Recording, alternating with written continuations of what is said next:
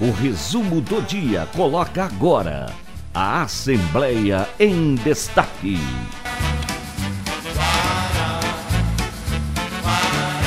Ontem, na tribuna aqui da Assembleia Legislativa, a deputada estadual Janaína Riva fez o último apelo emocionante aos deputados estaduais para rever a posição e aprovar a criação da CPI do grampo ilegal. Eu nunca passei humilhação tão grande em toda a minha vida. Essas pessoas se utilizavam desse aparelho que custou 25 mil reais, que a nota está aqui,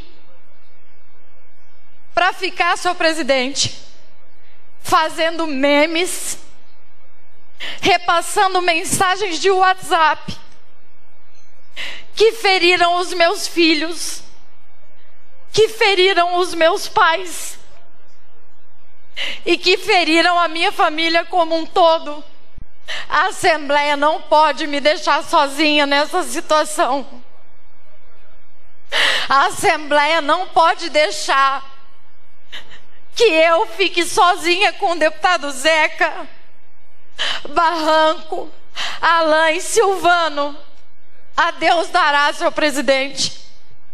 Teve deputado aqui que foi falar que a gente tinha que preocupar em trabalhar.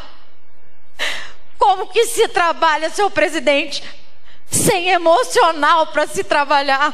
Eu quero pedir desculpa ao meu estado pela minha fraqueza. Mas tudo tem limite. Desde o dia que eu entrei aqui, Nininho, eu enfrentei coisa demais. Eu vi o maior amor da minha vida, que é meu pai preso. E nunca subi para ficar defendendo. Se cometeu crime, tem que pagar. Eu vi minha mãe ser presa. Eu vi tanta coisa acontecer e eu continuei aqui forte, ajudando todo mundo.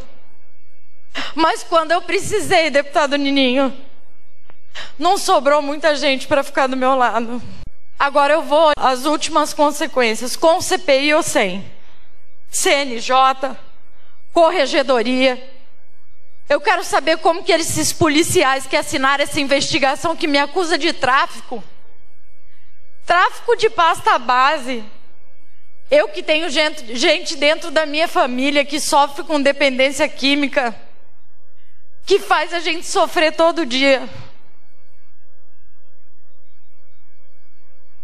Não tenho mais nada para falar. Já o deputado Jajá Neves saiu em defesa do governo contra a CPI chegou a dizer que a deputada Janaína está querendo aparecer mais do que atriz de novela mexicana. Nós não estamos aqui no Projac da Globo. Então não vamos trazer para este plenário a novela das oito. Isso aqui não é Globo. Isso aqui não é Projac. O cidadão lá fora também acompanha, sabe da realidade. Os órgãos investigadores vão investigar. Horas! Quem chamou alguém aqui de traficante? Me poupem! Conjecturas de uma gravação de um período que nem sequer Pedro Táxi era governador nesse estado? Poxa vida! Tem limite! Tem paciência?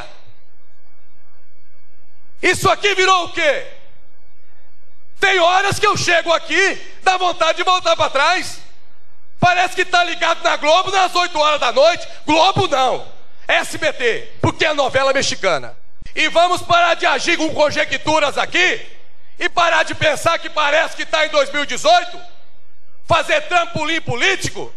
O nosso Estado não tem um ano de existência, não.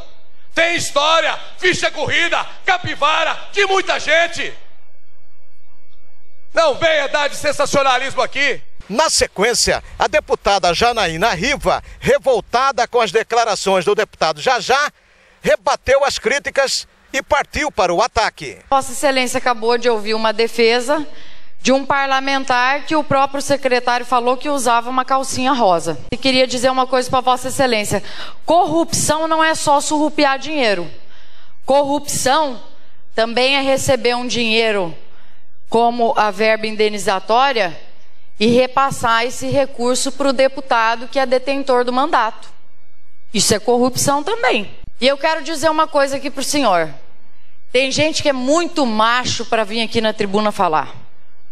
Macho, macho, macho. Mas chega no governo, faz um acertinho para sua imprensa, para sua mídiazinha, e aí fica igual um gatinho miando aí, aceitando tudo que vem. Deputado que pega dinheiro de governo não tem moral nenhuma para vir aqui falar de corrupção. Nenhuma. Então quero dizer uma coisa para Vossa Excelência. Aqui não tem idiota. Será que está querendo o quê? Está querendo roubar mais, pegar mais dinheiro de mídia do governo?